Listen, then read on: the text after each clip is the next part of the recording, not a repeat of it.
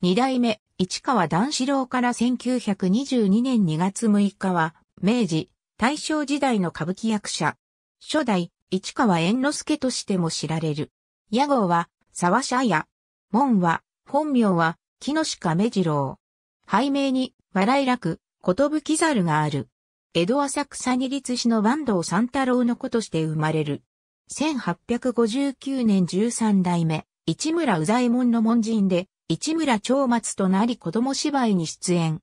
1862年9月に、江戸志村座に出る。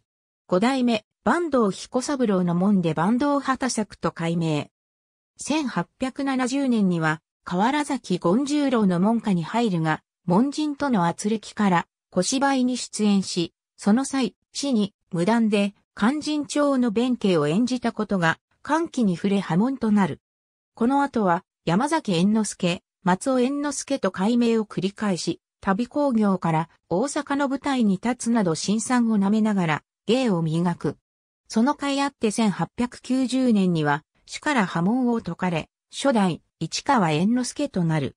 翌1891年東京歌舞伎座、出世、歌劇用の梶原平治、千葉之助で、名代に、昇進、九代目の皇帝として活躍した。九代目の死後、1905年9月の歌舞伎座での追善工業では一門を代表して、工場を述べた。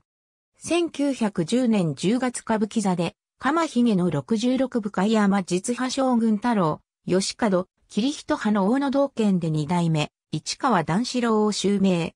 以後東京歌舞伎の長老として重きをなした。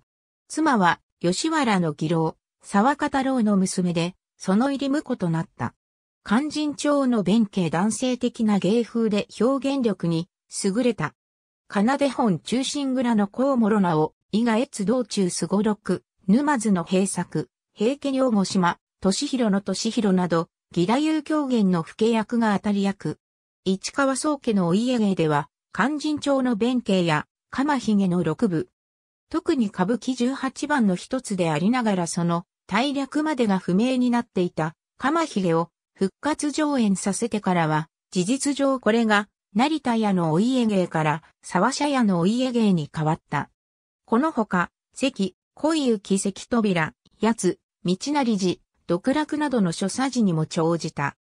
門人から歌舞伎界の中核にまで出世した二代目段四郎は、反骨精神と新取りの気概に富み、坪内商用の新歌舞伎に挑戦したり、当時の最新の演劇であった新派に客演するなど、歌舞伎の革新化を推進した。山村効果作、二世、市川段四郎の鉄震災1932年、魔の縁、木村聡太、朝日新聞社、中学時代の校。ありがとうございます。